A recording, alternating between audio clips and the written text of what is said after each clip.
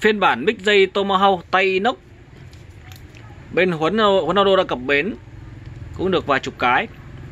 Dòng này thì trên củ nó sẽ là có cả chữ margin Japan luôn và củ này là củ à, uh, đai anten như này và dán giấy vùng quanh vì trên thị trường cái mình cũng bán luôn nhá. Là có cả đời củ thép. Đời củ thép là rẻ hơn cái đời củ này rẻ một nửa. Tay inox con này thì cái là anh em mình dùng thì nó sẽ không bị chảy sơn tay kia thì bị chảy sơn. Nhưng về cơ bản thì mình vẫn quan tâm nhất là chất âm thôi. Các bác nhé quan tâm nhất vẫn là chất âm. Con này thì thu âm là rất là tốt thu đa hướng thu vòng quanh này và thu cả trên đỉnh. Thu tốt nhất vẫn là trên đỉnh nhá của mic mà thu đa hướng nhưng trên đỉnh vẫn là tốt nhất.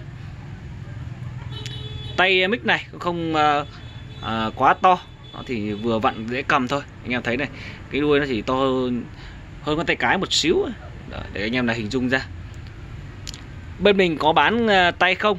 Tại sao như vậy? Vì nhiều anh em có dây rồi thì người ta không cần mua dây nữa thì bên mình có bán cho nhiều anh em ờ, như vậy nhé. À, với giá bán của tay không là 600.000 đồng bao ship. Và đây là dây mình giới thiệu anh em là dây Mỹ dây uh, màu đen. Và độ dài của dây là 5 mét rưỡi 5 mét rưỡi. Dây không thì bên mình đang bán con dây này là 350.000 đồng bao ship. Còn anh em lấy cả dây và cả mic sẽ có giá bán là 900.000 đồng bao ship chất đâm con này thì đã được ờ, bên mình test rất nhiều từ cả nhiều clip trước đó rồi. Vì bên mình à, buôn con này thì lâu rồi. Trong clip này thì mình giới thiệu hàng về thôi chứ mình không test lại nữa anh em nhé không test lại. Còn rất là đẹp.